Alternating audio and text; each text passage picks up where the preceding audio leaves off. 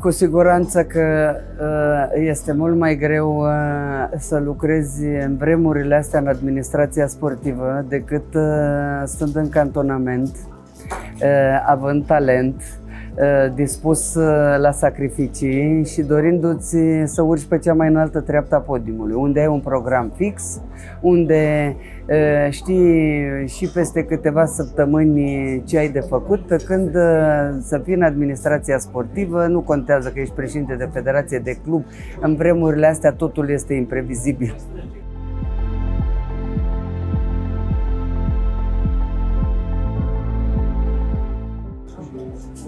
Aș putea să spun că sunt împletite. Eu am fost uh, norocoasă fiind un talent, având niște antrenori care au știut uh, să mă facă să dau tot ce am mai bun în mine, uh, să uh, lupt pentru a fi campioană, dar consider că nu este suficient doar experiența ca sportiv ci îți trebuie și uh, experiență în administrație sportivă. Iar eu am fost, uh, să zic, uh, norocoasă să lucrez în structurile Ministerului de Interne și uh, văzând cam ce trebuie să facă un manager, cum să conducă, după care uh, am condus clubul uh, Dinamo, cel mai greu club din România, cu multe secții și cu uh, o logistică foarte grea și am reușit să construiesc acolo și aș putea să spun că acolo mi-am făcut mână. Și când uh, ulterior uh, am devenit și președinte de federație și chiar în uh, uh, funcția asta de demnitate publică ca ministru m-a, m-a ajutat foarte mult experiența ca sportivă, ca președinte de club, ca președinte de federație și am încercat uh, să fac uh, Uh, cât mai multe lucruri bune pentru uh, sportul românesc uh, și pentru canotaj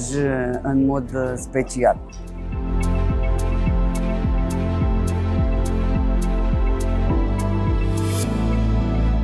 Um,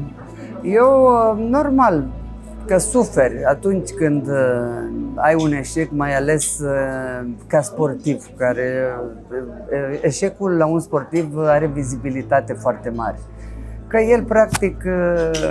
nu mai are la gât cea mai strălucitoare medalie sau nu mai este pe podium, fie european, mondial, olimpic. Dar eu eșecul l-am luat ca atare și am învățat din el. Pentru că este clar atunci când ai un eșec, ceva nu ai făcut bine. Și dacă realizezi, ai înțelepciunea să realizezi unde ai greșit, cu siguranță că următorul an ești mult mai bun.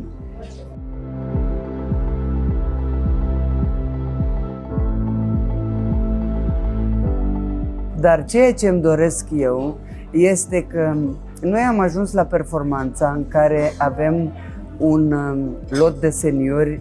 copt, uh, matur,